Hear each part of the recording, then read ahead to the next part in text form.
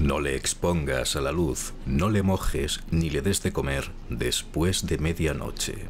Tres normas aparentemente sencillas, pero que el protagonista de Gremlins fue incapaz de seguir con su Mogwai y aquello trajo muerte y caos en aquella cinta de horror y comedia de 1984 que marcó muchas infancias. A pesar de su inocente y tierno aspecto, Gizmo podía ser terriblemente peligroso si no se cumplían aquellas reglas y alimentarlo desembocó en la aparición de esas criaturas reptilianas de carácter perverso y travieso, los gremlins. El éxito de aquella cinta que contó con Steven Spielberg de productor ejecutivo quedó plasmado en una taquilla de más de 150 millones de dólares frente a los 11 que dispuso como presupuesto y en 1990 aparecería una secuela que no funcionó tan bien pero igualmente nos dejó momentos célebres y criaturas mutantes como el gremlin murciélago que atacaba al señor Murray quien nos ha abandonado recientemente a la edad de 90 años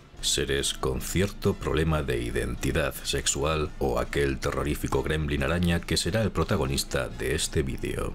Originalmente, esta espectacular figura fue lanzada en 2013 por NECA y no tardó en ganarse el corazoncito de los fanáticos de los Diablillos Verdes. Contó con 30 puntos de articulación, una altura de 25 centímetros, unos 38 de largo y otros 30 de profundidad. Debido a su popularidad y a la insistencia de los seguidores con afán coleccionista, fue vuelta a comercializar el pasado 2018. Al abrir el empaquetado nos encontramos con este chavalote de buen ver, acompañado de un matraz con suero de araña, tal y como vimos en la película, una peana y sus ocho patas que debemos acoplar, con un aspecto muy logrado, terminando en puntiagudas uñas amarillentas y contando con agudas protuberancias. En las instrucciones incluidas se indican los pasos a seguir para montar la figura, pero es más rápido y efectivo, en lugar del método del agua caliente, emplear un secador de mano sobre los orificios de las patas a máxima potencia durante unos 8 segundos, de modo que el calor hará que se dilaten los agujeros, pero cuidado de que la situación no se ponga demasiado caliente, pues se puede fundir el plástico y de esta manera se podrán encajar fácilmente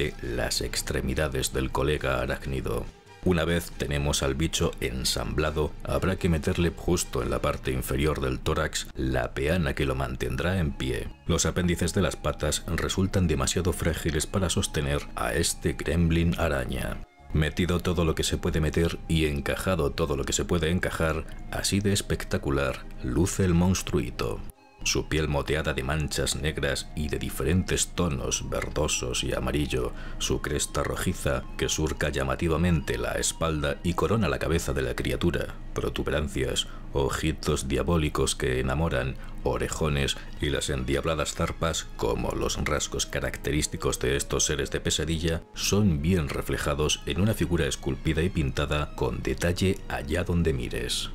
El abdomen, surcado por estrías rojizas, cuenta hasta con hileras recreadas, pero al contrario que el tórax, no es una pieza maciza, sintiéndose una parte liviana y frágil. Así que sed cautos con los posibles golpes y situad a la araña en lugares estables y sin peligros cercanos que supongan una amenaza a su integridad. Las patas pueden girarse, ya que las articulaciones son de bola, tal y como ya hemos visto en el vídeo, pero en su pose normal tan solo permiten un leve movimiento para encoger o estirar ligeramente las extremidades, mientras que las uniones de las patas al tórax dan más juego, pero tampoco conviene cacharrear en exceso para evitar posibles roturas y el consecuente disgusto. Los brazos ofrecen una mayor libertad de movimiento, sin duda, con hombros y codos articulados, además de unas garras que pueden girarse y cuyas muñecas igualmente pueden flexionarse, lo que da una mayor versatilidad a la hora de buscar una buena pose para nuestro querido gremlin arácnido, que podrá sujetar en sus zarpas el matraz de contenido azulado que es el único accesorio que acompaña a la figura. El torso puede inclinarse hacia adelante o hacia atrás, hasta una postura más rígida de esta parte de la estructura anatómica del engendro. La cabeza puede rotarse con facilidad y permite ciertos grados de inclinación, mientras que la mandíbula puede abrirse para fijar en la posición que más nos entusiasme la boca de labios negros, sobresalientes encías, dientecitos dispuestos para hacer mil y una diabluras y lengua rojiza. Teniendo en cuenta las dimensiones y la complejidad de la figura, los puntos de articulación que ofrece, recordemos hasta 30, son más que suficientes para este títere, ideal para aquellos que padecen de aracnofobia. Este gremlin araña es una de las figuras más llamativas que ha elaborado NECA jamás. El nivel de detalle es muy bueno, el de pintura raya a la misma altura y recoge muy fidedignamente el aspecto de la marioneta que se empleó en la película de 1990. Quizá es poco estético la articulación del torso o me ha resultado curioso que el abdomen no tuviera una mayor contundencia, lo cual puede explicarse por cuestiones de ahorro de material. Tened presente que, debido al número de piezas, dimensiones y la complejidad de la araña, su precio es más elevado que el habitual en una figura común de NECA, pero es que no estamos ante un títere corriente. La etiqueta con la que podéis encontrarlo marcará en torno a los 70 euros y actualmente no abunda su stock, pero calma, coleccionistas y fanáticos de Mogwai, Respirad tranquilos, pues se espera que llegue una nueva remesa de Kremlins araña a España para el mes de junio.